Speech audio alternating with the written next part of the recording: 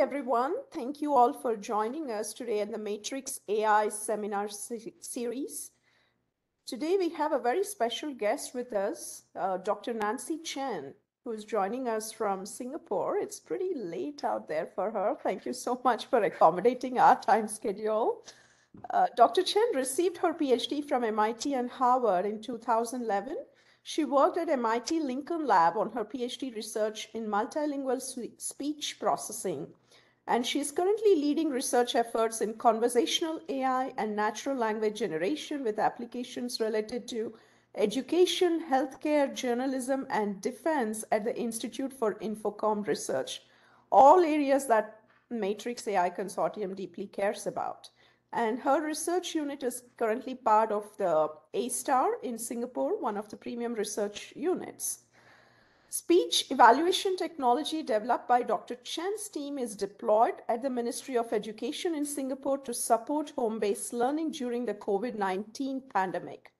Dr. Chen also led a cross continent team for low resource spoken language processing, which, which was one of the top performance in the NIST open keyword search evaluations funded by IARPA Babel program and she has received numerous awards, including the 2023 IEEE SPS Distinguished Lecturer Singapore 100 Women in Tech Young Scientist Award in MICCAI in 2021 Best Paper Award at SIGDA L in 2021, and the list goes on. And she also has the NIH Ruth Kirschstein National Research Award from 2004 to 2008. Currently, she's leading several prominent AI conferences as a program chair. Um, ICLR 2023 elected board member of ISCA, which is the International Speech Communication Association, and several other things in signal processing. We are really honored to have her join us today and looking forward to your talk, Nancy. Uh, thank you so much. So I um, apologize in, in advance that I'm recovering from um, a cold. So, uh, but this is a virtual talk, so hopefully this won't be too big of a problem for projecting my voice. Yeah, so good morning, everyone. Uh, so it's uh, very nice to have you here. Um, I will um, try to go to the next slide. Yeah, so uh, I guess, yeah, thanks so much for the kind introduction. And uh, I just listed some other things here. Um, yeah, so I've been in the field of speech and language processing, machine learning for past 20 years, supervised more than 100 students and staff. And in, in addition to the academic um, endeavors, also um, worked on more translational stuff that's uh, led to government deployment and spin-off companies. Uh, and so uh, I'm very glad today to have this opportunity to uh, share with you um, some of my recent research work. So uh, I'll go to the next slide. Um, yeah, so what we'll be talking about uh, is at the intersection between generative artificial intelligence and natural language processing. So in this overlapping um, region is natural language generation. And so within it, uh, if you use neural models to do the language generation task, then it's neural language generation. It also intersects uh, with computer vision uh, because the modality of the inputs in natural language generation could also include uh, visual data and the output as well. So, so this is kind of the landscape of how the different fields might intersect with each other. So for generative AI, uh, it's a subfield of AI that can be used to create new content. So this new content could include audio, speech, images, text, and videos. And um, some very famous recent examples of applications include ChatGPT and DALL-E. So for natural language generation, I thought we zoom in a little more. Uh, so in the field of natural language processing, uh, there's natural language generation and it intersects a little bit with natural language understanding. So technically, they're dualities of each other, but they intersect um, partially because, uh, in theory, if you want to generate well, you need to understand the language reasonably well. So, so there's some relationship there. Um, and here, um, natural language generation tasks, uh, the inputs uh, could be all these different types or a combination of any of these text, audio, speech, images, video, or multimodal data. And the output is typically human understandable text, or it includes human understandable text. And so uh, here I list some of the applications, and some of them are more classic than others. So these include machine translation when you have um, one language that you want to convert to another language, summarization when you want to concise the content, question answering, and dialogue technology, chatbot. These are more interactive and it could be multiple rounds of interaction. Uh, it could be image or video captioning or report generation or story creation.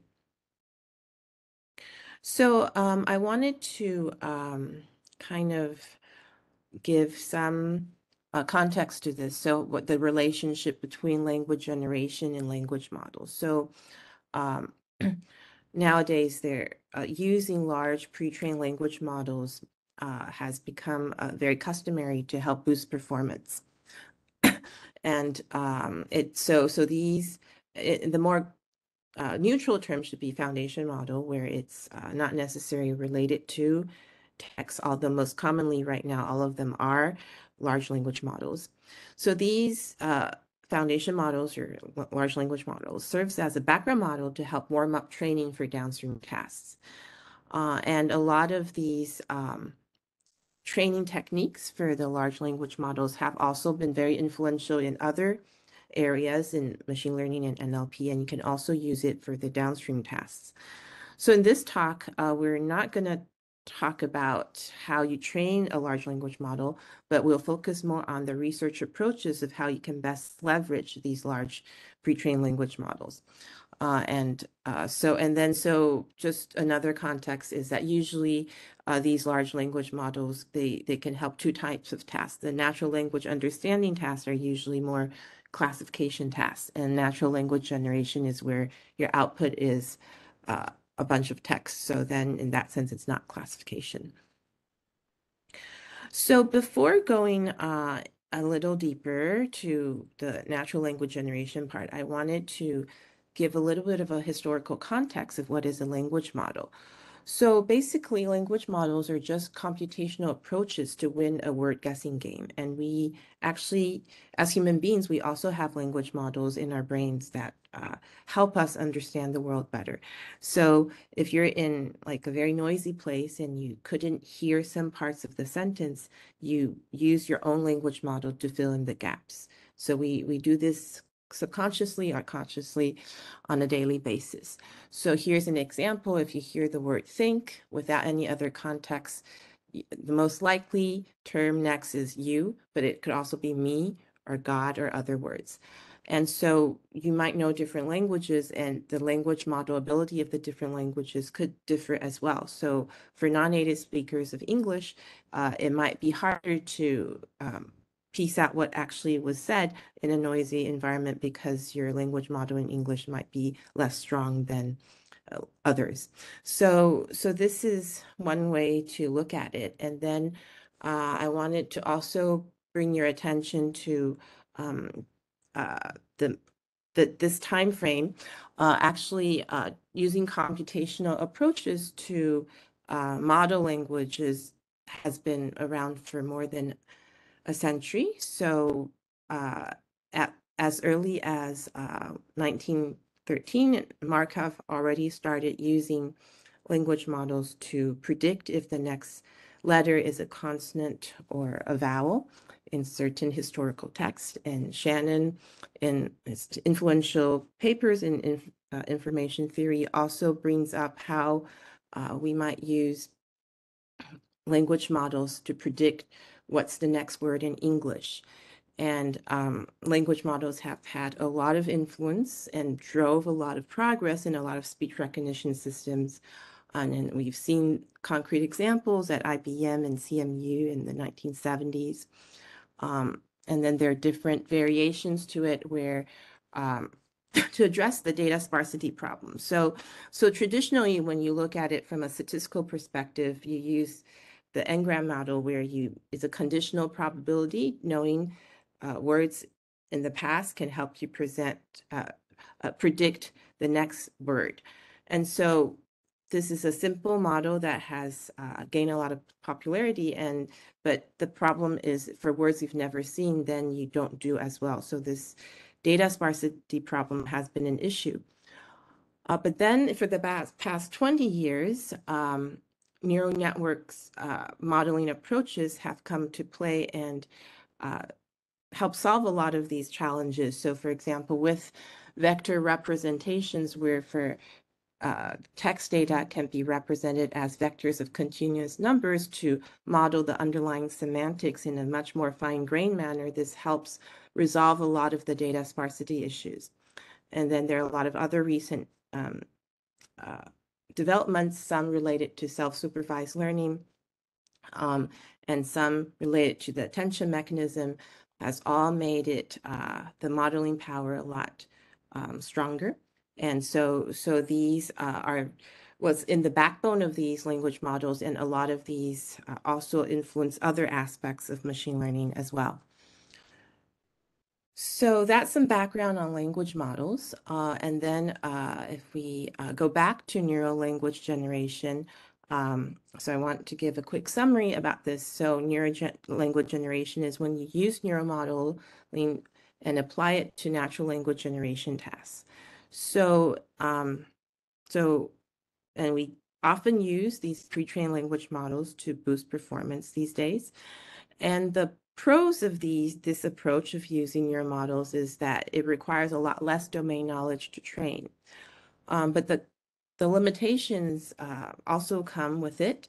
Uh, and so part of it is that these neural models are very, very data hungry. So you need a lot of data to uh, fuel it. And then the generation outputs are notoriously hard to control. So uh, they could be factually inconsistent, logically incorrect, or socially inappropriate. So, uh, so based on this, uh, uh I have four research themes uh, in my work in this area of neural language generation to help address these challenges in computational approaches. So the first one is scalable data augmentation. So this refers to resourceful approaches in addressing the data hungry needs of training deep learning models. The second theme is factually consistent language generation. So although neural language models are very adept at generating very fluent text descriptions that are grammatically correct, the underlying models often overfit and might learn spurious correlations between the input features and output labels. So we investigate, in, investigate techniques that can preempt the incorrect associations between the input features and the output labels. The third theme is controllable neuromodeling. So it's very hard to control the generation outputs of these neuromodels. And so we examine means to do so where we can harness the potential of these models more fully.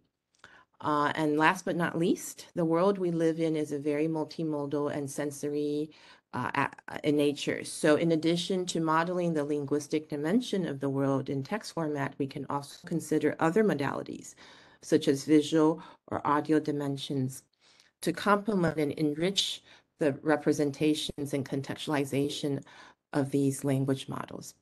So, okay, so I'm gonna start, okay, yeah, and then I'm gonna give an overview of the different types of technical approaches that we use. Um, so here are three of them. So the first one uh, is self-supervised learning and noisy data augmentation to improve robustness. The second one is feature disentanglement, and this helps minimize model bias. Uh, and the third one is coherence and causal modeling and for temporal and spatial reasoning.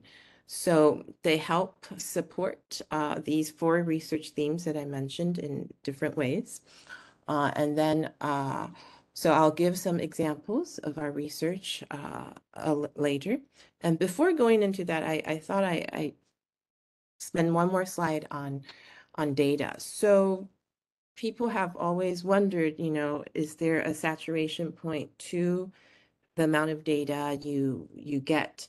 Uh, so far, we haven't seen that. So there's the saying, there's no data like more data. So it seems like the more data you have, it's always better. Um, most of the time. And uh, noisy data is better than no data. So a tiny bit of noisy data simulating the truth is infinitely better than zero data. So, so yeah, so um, so here we'll, we'll show some examples where synthetic or simulated training data can be very useful. And it's very practical because it's much lower cost to prepare uh, than to collect real data. It helps bootstrapping and it improves model robustness because um, you get uh, more var variety of data. Uh, and but still real world test data is needed for rigorous evaluation.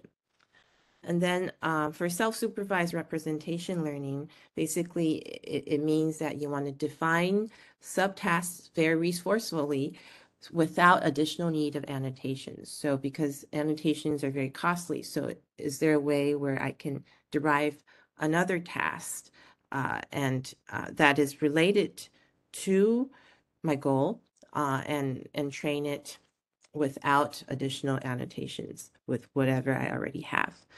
Um, and then you could also strategically inject noise to make the model learn how to de- de- denoise. So that's also a strategy. And then another thing to mention that these days the boundaries between features and the model have become blurry uh, because uh, the representations of different modalities um, are, are, are, are, the same or similar. Okay, so um, the first example I wanted to show is where how you can use data augmentation to summarize clinical conversations. So due to privacy concerns, it's very hard to obtain clinical conversations for training. And so here what we did was we um, uh, had made two pools of uh, data types. The first one is uh, inquiry response template pool, which basically is a question answer template pool. The second one is uh, values of important entities. So if you randomly pick one of these uh, question answer pairs in the template pool, you might get something like this. And then uh, for the hashtagged parts, uh, they could be represented in different entity values. So here, basically the idea is in these clinical conversations, um, the nurses are trying to uh, get the symptom information from the patient. So um, there are different attributes that could characterize the symptoms. So some of it is related to the intensity of the symptom, how the frequency of the symptom, and when the symptom occurs. So these are different types of attributes that each symptom might have. And so we can um, once we have these templates with these entity values, we could enrich the verbal expressions and track through all the symptom attribute pairs exhaustively. Uh, and then because this is done in a simulated way, we want to double check the logical correctness and validate the clinical correctness as well. And through this kind of method, uh, we can come up with a simulated multi-turn dialogue data set and this can help us train a dialogue summarization, dialogue summarization model between nurses and patients. And um, in, in this case, uh, then we can save the very limited real world data as the test data. Um, and so here what we did, uh, I'll just uh, go through it. So basically we have two very simple assumptions. The first one is for each dialogue turn, in this case, a question answer pair, it's characterized by the dialogue states, which are the pink or purple highlighted parts. And so these are the key information needed. The other is these question answer pairs are independent of one another, so the sequence doesn't matter. So by these two assumptions, we can, and with the process that I just laid out, we can boost the training data by 100 times. And this is a data augmentation method that is clean where I'm in interpolating the possible sample points within this framework. Um, and so then after I do that, I can use my real world clinical data and validate the performance of the model. Uh, and we have expanded this approach to other domains as well. So this could be in travel booking where uh, you could have uh, uh, um, classes that have less data. So there's a class imbalance problem um, where using similar approaches could help resolve it as well. Okay, so this is one example. Um, the other example I wanted to talk about is where we deliberately inject noise to the model so that the model can learn how to denoise. So here actually we have two examples. One is where I have targeted noise. So in this example, I want to um, summarize social media information. Um, and in this case, uh, we we observe that when you're summarizing who does what, a lot of times the model gets these personal name entities wrong. So here we, we know this is a weakness in the modeling. So what we do is we try to tag out these personal name entities such as Marcus, Mark, Anna, and then we we um, corrupt it by taking out these personal name entities. So we force the model to learn when should you insert the right personal name entity. So this is an entity-based denoising model training that we did. And this helps boost performance. Um, on the other side, on the right-hand side, we see a case in machine translation where we insert random noise. And in this case, um, it, it's trying to simulate uh, in in social media there could be typos there could be creative usage of language uh, that is slang. Uh, and so some of these are very hard to predict. They have maybe there might be regional preferences of how these might happen. And so by using random by inserting random characters in the text uh, we are and then asking the model to still come up with the right answers uh, in the translation examples also helps strengthen the model's robustness. Um, and then this is uh, another example where we use contrastive learning. Um, and in this in this example, um, the task is text style transfer. So um, the two public data sets that are pretty well known for this task include sentiment transfer or and formality transfer. So sentiment is, you know, from positive sentiment to negative or vice versa. For formality transfer is informal and formal style and transfer in between. so in in this example, what uh, here showed show, shown in the graph is that let's assume the sentiment transfer case, then um, from the source sentence in blue, uh, I can pull it out from a negative from the negative polarity set. So here it's um, the sentiment is negative. I use it to do a match to the positive polarity set. So I there are two ways to do the match. One is a lexical match, and the other is a semantic match. And once I find this, um, then I can use contrastive learning um, to sharpen the modeling between these two polarities. Uh, and so in, in this case, I am basically uh, constructing a pseudo parallel data set for sentiment style transfer. And, and so, uh, and then on top of that, we also apply reinforcement learning. And and once we had the bootstrap model, then with reinforcement learning, we can do pretty well and, and reach state of the art performance.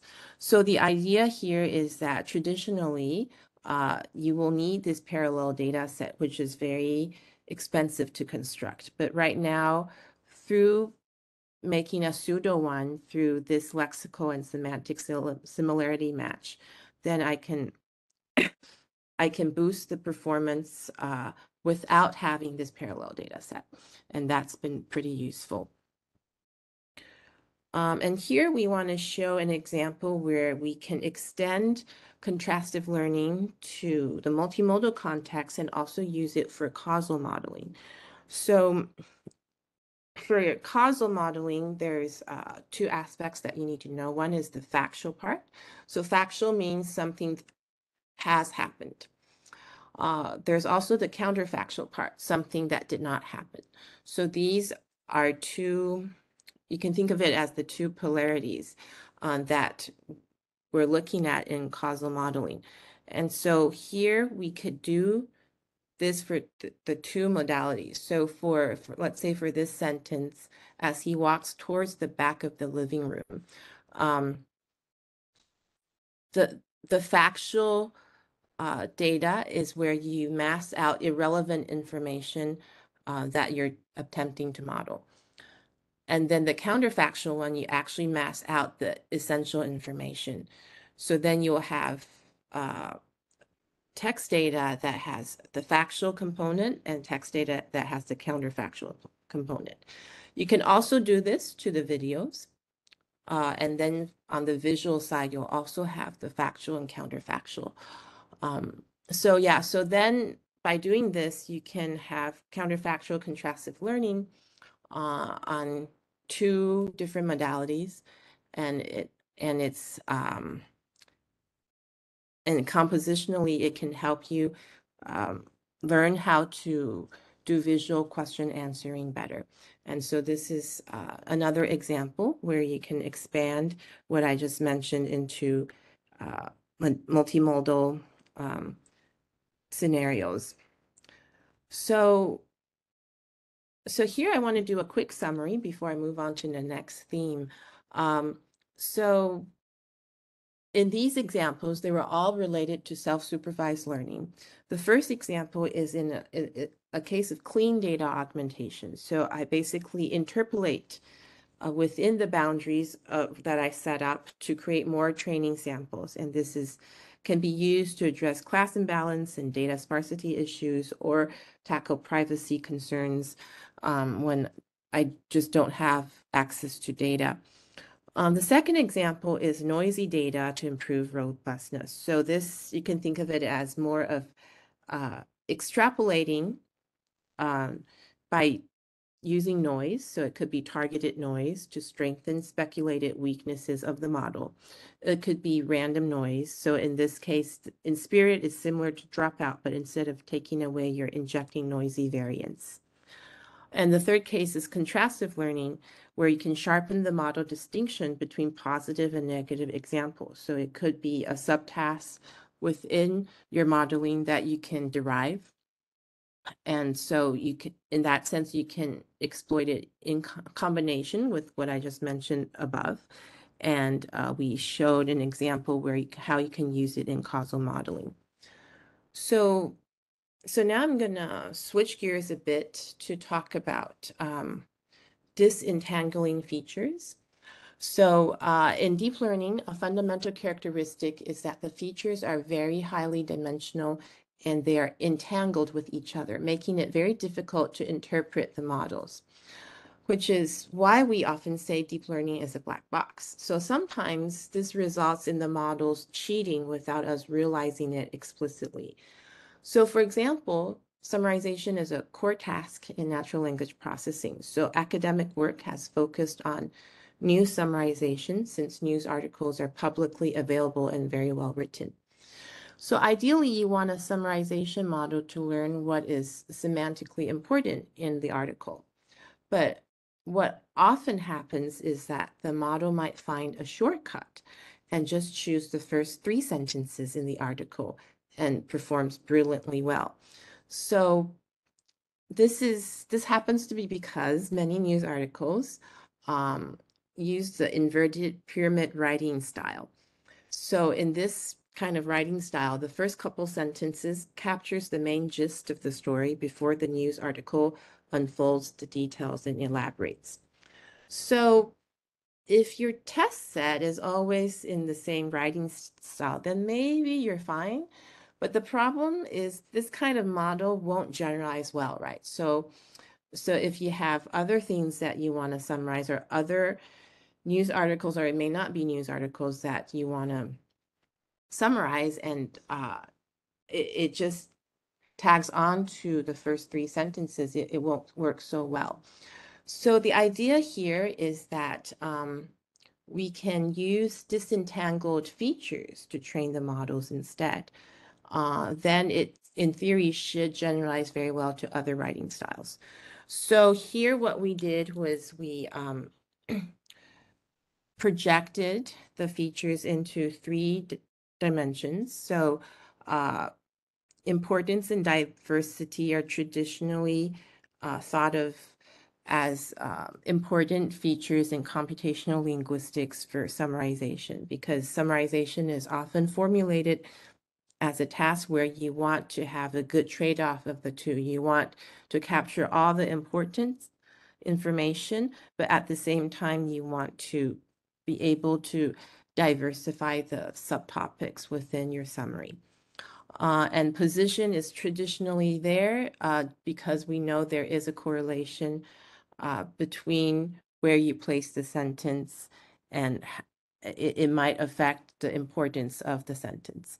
So if we uh, disentangle the features um, that we have and use these three disentangled feature dimensions to um, to to look at the model so then I can choose to just train my model using importance and diversity. Okay.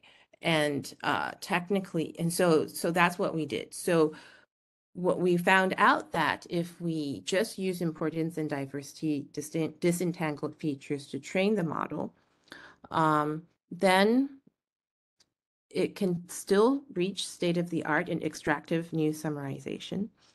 And then if I use this model that, you know, doesn't have the positional features, uh, and then I directly apply it to meeting summarization. This is a new untrained task without any fine tuning. I can still reach state of the art for extractive summarization. So this is uh, an example where uh, we, we can show that you can remove the feature bias in these tasks uh, and and it will generalize better. It will give you more controllability uh, and explainability uh, in your models as well. And so, so this uh, is work that was um, done a couple years ago. And uh, if you want to understand more of the some of the details of how the computational linguistic aspects were defined, you can go to this paper. Okay, so here I want to give another example, and I kind of alluded to it a little bit before. Um, but uh, here is an example where we observe when and why do the neural models hallucinate. So one example that we've seen is that in language, we often refer to the same person, you know, with their official name or their nickname, their role, their occupation, or certain pronouns. So this uh, in linguistics is called co-referencing. So uh, it takes children several years to learn these types of co-referencing. Uh, and from our experience, it's also non-trivial for neural networks to, to learn this kind of co-referencing as well. So when we're looking at um, conversational or interaction information across different speakers or uh, participants in a conversation, uh, we, we often see that there's factually inconsistent generations that stem from the model that association associating the wrong person with a certain action. So here we want to help the neural models by formulating co-reference chains that are that all point to the same identity. So misunderstanding is less likely to happen. So so here um, in, we see a conversation between two people, Natalie and Sam, uh, and then they they're talking about the patient Howdy, uh, who is Sam's father, and they also mention his new girlfriend Julie. So in this three-turn conversation, it's a very short conversation. uh, different people are referred to. And so I color coded them. Uh, and so these are the co-reference chains. So you can see these co-reference chains, they go across uh, speaker turns, they go across utterances. So in that sense, they are not, uh, it's a structural kind of data. It's not, it's not sequential. And so traditionally, we, we know that um, current machine learning does pretty well on struct uh, on sequence data, but on structural data, it, it may not always work as well. And so, so here with these co-reference chains, we want to strengthen the semantic and temporal coherence. And we can do this through a graphical neural network. So, so here it's more in text form of what I just mentioned. So, um, so by doing this, uh, by modeling the co-reference chain chains and um, taking advantage of the structural relations that it embodies through a graphical neural network, we are able to strengthen the semantic and temporal coherence of the model so that the output uh, the output um, generations have improved factual consistency. And also another byproduct that we get is that we can generate summaries based on different personal perspectives. So now um, we we have more controllability of what type of perspective we want to give the summary. Is it from the patient's perspective, from the nurse's perspective, from the caregiver's perspective? Yeah, so so this insight of using co-reference chains um, and modeling it through graphical neural networks um, to help uh, make hallucination less likely to happen, hallucinations when there's factual inconsistency. This has helped us uh, win a Best Paper Award and a lot of follow-on work related to this. So this is an example where um, from your observations, you can make more implicit complex relations explicit to the neural model so it's easier for it to do different modeling. So here uh, we also expanded um, the temporal reasoning uh, perspective to spatial dimen the spatial dimension in a multimodal context as, well. So uh, we not only exploit both the spatial and temporal level information, but we will also learn the dynamic information diffusion between the two feature spaces through spatial to temporal and temporal to spatial reasoning in a visual question answering task. So this bidirectional uh, strategy helps to tackle the evolving semantics of user queries in the dialogue setting. And the retrieved visual cues are used as a contextual information to construct relevant responses to the users. So, um, so here we, we list some publications where uh, we, we, we do this uh, reasoning uh, in both the temporal and spatial domain and use different techniques to, to help us model so we have a better um, contextualization of uh, the dialogue, and so we can model things better. Um, so, so yeah, so that's the last example that I wanted to share. And so th this is a summary of the different approaches that we talked about and how they might help address challenges um, in the four research themes. So um, yeah, so I hope this helped um, make neural model language generation uh, a bit easier to understand and appreciate so that it's not just like a back, black box anymore and hopefully inspire some of you to consider making more progress in this area as well. Yeah, so thank you.